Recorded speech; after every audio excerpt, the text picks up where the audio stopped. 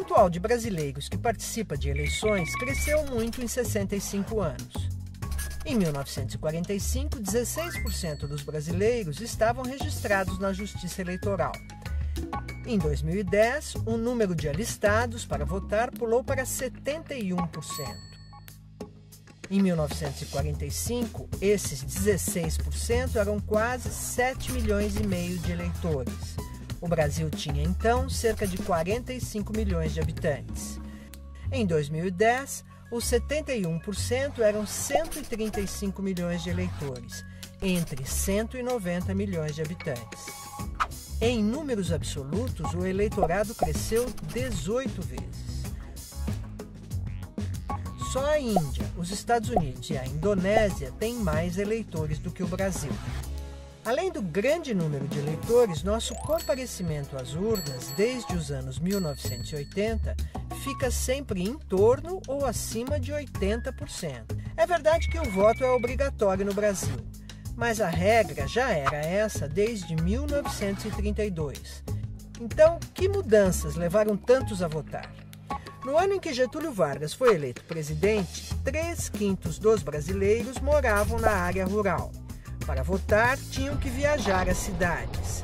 Eram os candidatos e partidos que levavam os eleitores. Eles ficavam concentrados em um só edifício, vigiados pelos cabos eleitorais até a hora de votar. Em 2010, o Brasil já era o que conhecemos, um país 84% urbano, mais fácil para votar. A escolarização também empurrou o número de eleitores para cima, menos analfabetos, mais votantes.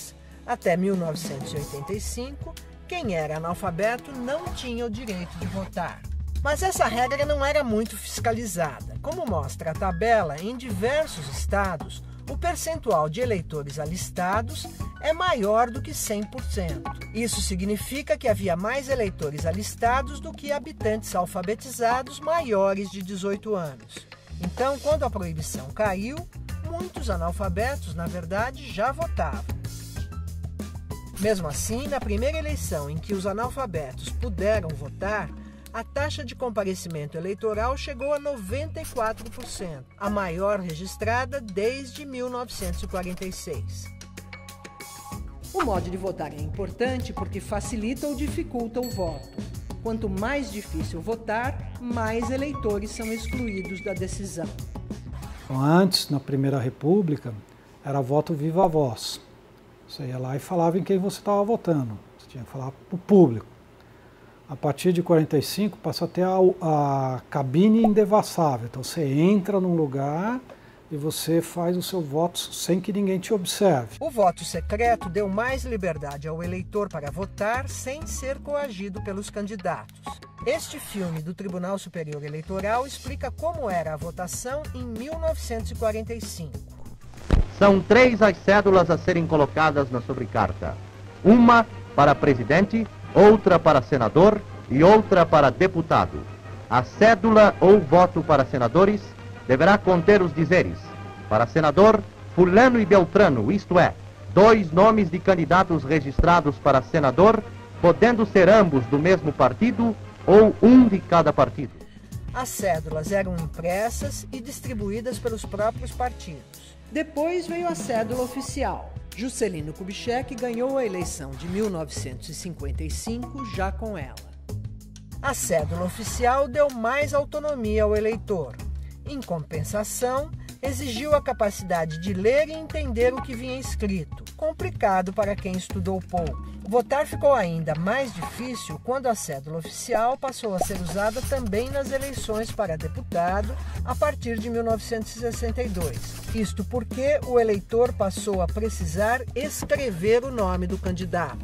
Naquele ano, o número de votos não válidos pulou para 17,7%. Nas eleições gerais anteriores de 1958, os votos não válidos somaram apenas 9% é que a cédula de papel exigia muito de parte dos eleitores, até mesmo muitos anos depois, já na década de 1990. Metade dos eleitores não vota. 30% deles, a gente sabe hoje, por volta de 30%, porque não conseguia votar, não porque não tivesse candidato. Porque simplesmente o, o custo de escrever ou a entender aquilo estava fora do alcance do cara. Em 1998, com a urna eletrônica, a votação ficou mais simples. Apesar de ter sido adotada para combater fraudes, ela também reduziu a taxa de votos não válidos. Recapitulando, a urbanização, a escolarização e a extensão do direito de votar aos analfabetos contribuíram para aumentar o eleitorado. A urna eletrônica ajudou as pessoas a votarem com mais facilidade. Fazendo a conta, os pesquisadores acharam que ainda falta desvendar um mistério nessa história. Se muitos analfabetos já votavam desde os anos 1950, quem é que ficou de fora no período entre 1945 e 1964? Onde estavam as mulheres?